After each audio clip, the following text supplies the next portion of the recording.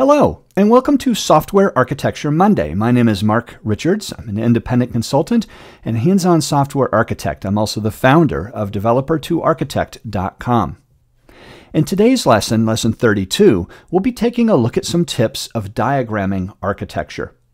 Now, diagramming architecture is really hard. As a matter of fact, I posted this back in February of 17 uh, that I overheard at work um, two architects talking, and one said, You know, I spent over two hours on that diagram and I'm not going to change it. And the point is, it was wrong. And so my cor corresponding thought was, I can't wait to retire on this. But uh, my friend Neal Ford actually has a label for this, and it's called the irrational artifact attachment. Now, what Neal Ford says is this there is a proportional relationship between a person's irrational attachment to some artifact to how long it took to produce it and how true that is. Just look at the, um, the statement I overheard here at work. So, let me show you a couple of tips to diagramming architecture. Uh, before I start that, uh, let me just say um, this is a really difficult topic. Uh, diagramming architecture is hard because we don't have any standards. As a matter of fact, towards the end of this short lesson, I'll show you a couple of standards, but uh, or not standards, but techniques and one standard. Um, but it is rather a difficult topic. So let me show you some tips uh, for diagramming software architecture. So here we have an architecture where we have the RKS system communicating with the CAS system over to the ATP system, which in turn communicates uh, through these dotted lines through RE and CE. And of course, we have the SRS system. And so a lot of times as architects, we diagram systems with all this innate knowledge. And uh, the problem is how in the world are you going to interpret any of this? And so the first tip is really to have a title, a short, meaningful title. Uh, for example, this is the trading platform of the major information flows. And so um, while it may seem obvious, I can't tell you how many diagrams I've actually seen that don't have effective titles other than just saying trading platform. And so the real tip here is a meaningful title describing exactly what I'm showing. Now we have a little problem with this architecture right here because we've got all these lines. Now it's, mm, let me say, easy to, to just um, put a double arrowed line, but favor unidirectional lines over those. And so if these are the major information flows, this diagram is giving me no information whatsoever. But watch this. One simple change to single or, or unidirectional arrows, uh, now we can see the major information flows. In other words, information flows from the RKS system into the CAS and from SRS into the CAS and then correspondingly to the ATP. Uh, notice now the RE and CE systems now notice I've got two arrows going back and forth. So instead of bidirectional arrows, what I will do is I will split those into two unidirectional arrows to show that information can flow from the ATP system, but also information can originate and flow from the RE and CE systems into ATP. Now, here's a little trick. Um, let's say that the RKS system is sending information to CIS, and CIS sends back a response say, saying, okay, done or got it. Um, I would not show an arrow going in that direction because it's not a major information flow. It's a response to a request. So usually I do originator to target. Now, the problem here is we have no idea what information is there. So labels on the arrows is so critical because now we can see that transactions flow from the RKS system over to the CAS, and then adjusted trades from the CAS over to the ATP. And so now it makes it very clear the flow of information. And then trades, of course, go back and forth between ATP and RE and CE. Now, the other thing is this about shapes. Um, we have very few standards in our industry regarding shapes, and some people might use uh, rectangles, some might, people you might use circles. Now, notice under the ATP on the right-hand side here, see that RE and CE. Notice the different shapes. That must be significant, huh? No, it's not. They just wouldn't fit on the screen. And so watch the fact of consistency as well. In other words, there's nothing special about the RE and CE systems. I just happen to draw them underneath the ATP. And so this misleads people into thinking that those are different. So, so be consistent in your shapes. Now we have one other problem, don't we?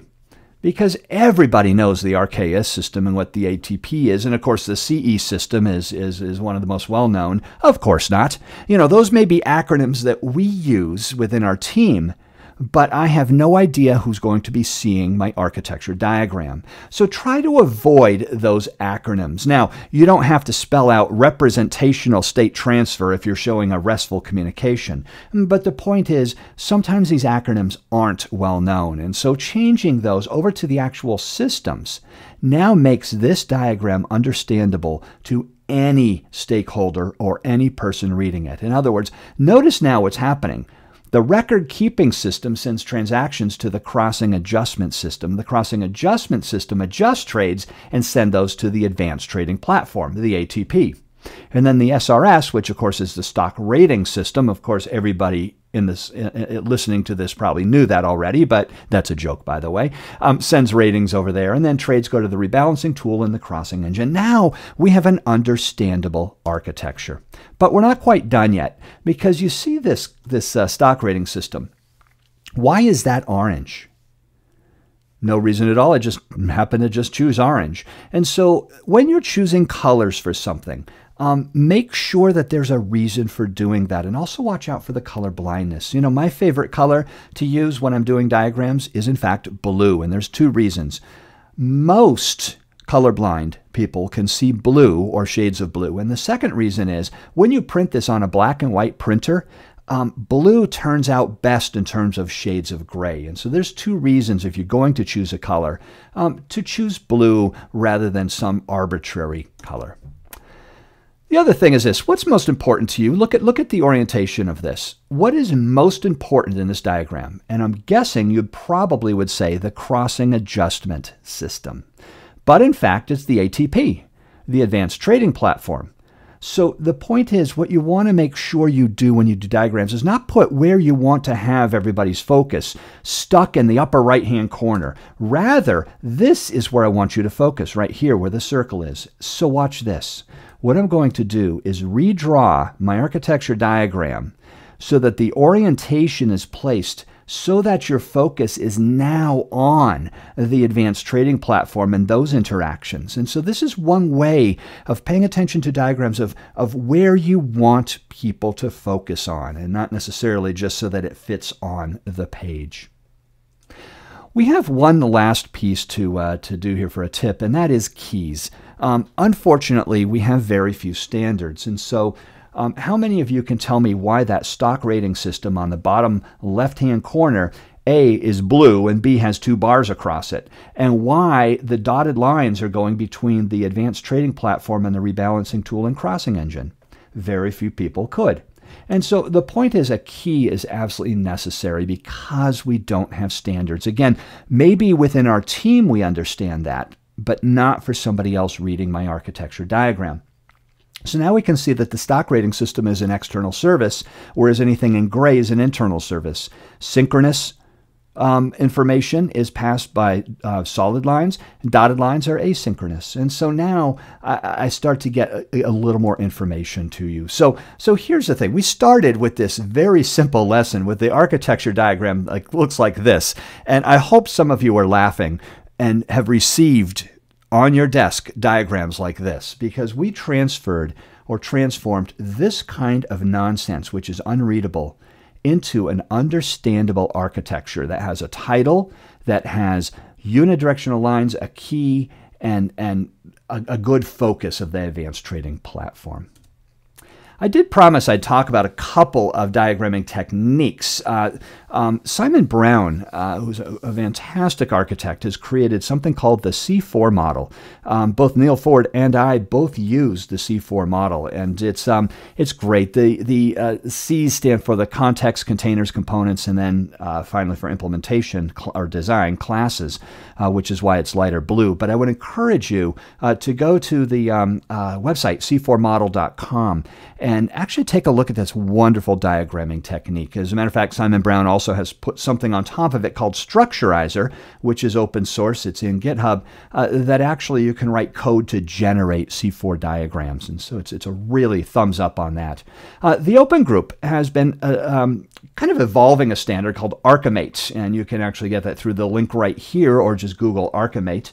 Um, and this is kind of a um, XMI-based portable standard across diagramming tools so that if you are using, let's say, Archi, for example, which some people pronounce it Archie, but A-R-C-H-I, which is the reference implementation, it is open source um, for uh, ArchiMate, um, you can draw diagrams in there and then transfer it over to um, uh, BizArchitect or any other kind of commercial tool. And so these are kind of, now I wouldn't say Simon Brown's model is a standard, but it is a good starting point of diagramming, whereas ArchiMate is really trying to force um, enforce a standard for diagramming.